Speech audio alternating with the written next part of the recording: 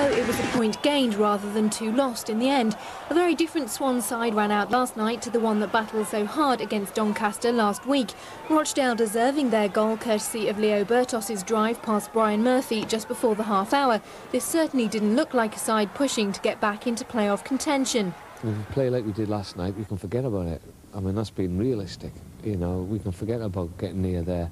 But if we play like we did against Doncaster, then it's achievable. Uh, we've got to play like the games we've had against Doncaster and Cambridge away uh, and produce many more than performances.